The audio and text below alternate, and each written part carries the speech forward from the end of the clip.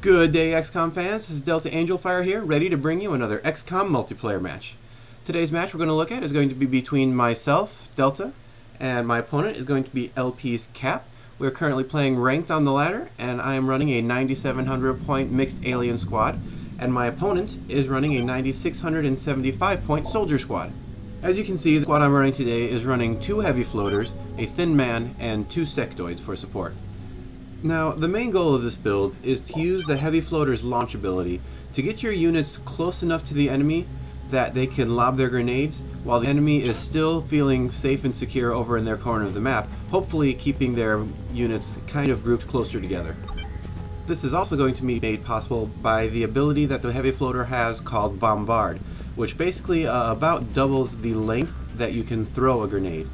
I can see here we're going to try to deal with some of the uh, some of the launch controls, and it is really hard to aim, especially over in the corners and at the extreme distances that you want to get out of the launch ability. While launch does say you can get anywhere on the map with it, this is not entirely true as you can see me trying to struggle here mightily just to get as far away as possible.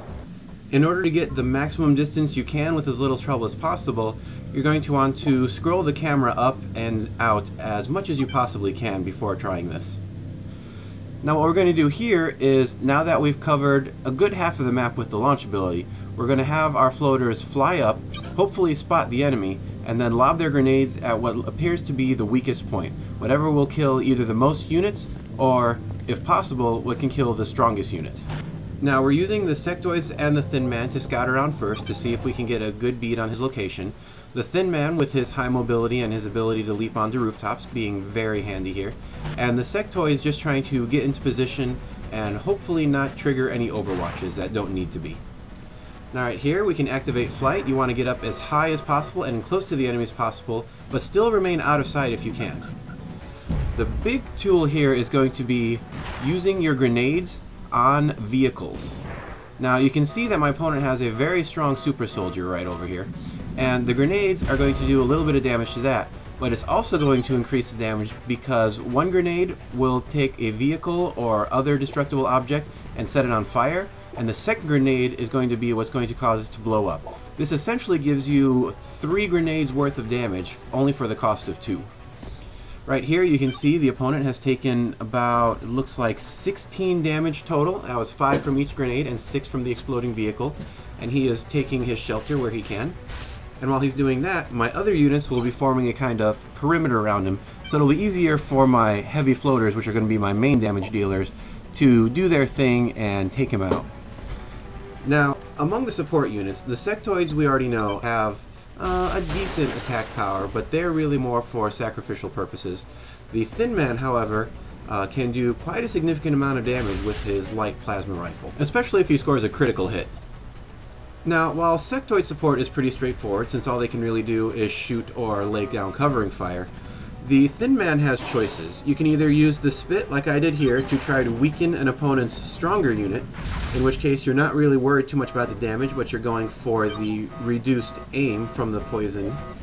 Or you can have him use his Plasma Rifle. Now, the light Plasma Rifle that the Thin Man uses does a pretty average 6 damage. That's might be even a little stronger than your average light Plasma Rifle on a soldier.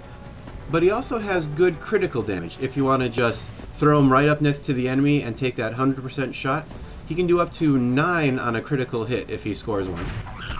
The other advantage of putting your Thin Man right next to the enemy troops is that if he happens to get taken out and your opponent hasn't moved yet, then the resulting poison cloud from his explosion might just do that extra 1 or 2 points of damage that you'll need to take out whatever's left over. Right here you see me running right up into his face taking a couple shots and taking him down. That 6 damage is always going to be quite useful. And then finally, we're going to move our heavy hitters, the heavy floaters, into position and take out his last troop. That's going to be it for this match, guys. That's a GG. Thanks for watching. I hope you learned something today. As usual, I'll be posting the builds in the description below. If you have any questions or comments, please feel free to leave them. And thank you guys for watching. I will see you guys next mission.